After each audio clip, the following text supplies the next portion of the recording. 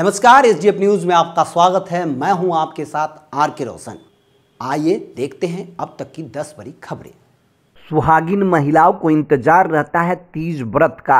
Name, नियम, निष्ठा से हरि तालिका पूजन का सिलसिला किया गया।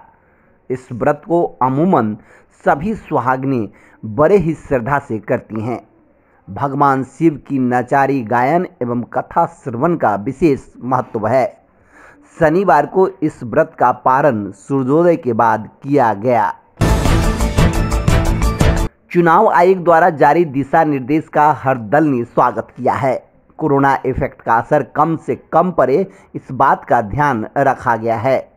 सोशल डिस्टेंसिंग के शर्तों के साथ परंपरागत प्रचार की मांगों को भी आयोग ने मान लिया है।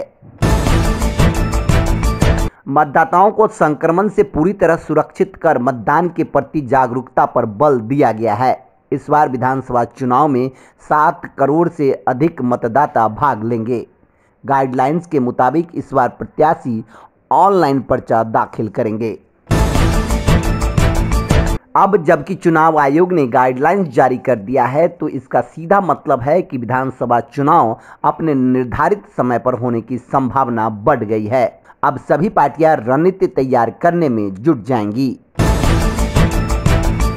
कोरोना संक्रमण की समीक्षा मुख्यमंत्री स्तर पर की गई है। नीतीश कुमार ने इस बाबत हाकिमों को हड़काया भी।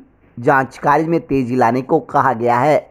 मशीन की संख्या बढ़ाने का भी आदेश मुख्यमंत्री ने दिया। पटना स्थित Nalanda medical college and hospital में आज से कोरोना के गंभीर मरीजों का इलाज प्लाज्मा थेरेपी से शुरू कर दिया गया। इस बाबत सभी व्यवस्था कर ली गई है। पटना में एहतियातन सभी कदम उठाए गए हैं। स्टाइपेंड एवं स्टडी लीव समेत कई अन्य मांगों के समर्थन में सुबह के सभी मेडिकल कॉलेजों से जुड़े हुए जूनियर डॉक्टरों ने इसी माह 27 से कार्य बहिष्कार करने का ऐलान कर दिया है। मांग मान लेने पर सब कुछ ठीक हो सकता है। अब गणेश चतुर्थी को लेकर बाजारों में अधिक चहल पहल बढ़ी है। आभूषण, वाहन के साथ अन्य सामानों की खरीदारी के लिए बाज़ार सजने लगे हैं। इस बीच देसी गणेश मूर्ति की मांग बढ़ जाने से कारोबारी खुश है। फलों की आवक बढ़ गई है। चुनाव के मद्देनजर राज्य के सभी जिलों में हथियारों के सत्यापन पर ज़ोर दिया गया है। जो व्यक्ति हथियार का सत्यापन नहीं कराएँगे, उनका लाइसेंस रद्द कर दिया जा सकता है। जैसे जैसे विधानसभा चुनाव की संभावित तिथि नज़दीक आती जा रही है, पटना में जुलूस प्रदर्शन, धरना एवं सड़क किनारे नारेबाजी का माहौल बनता जा रहा है।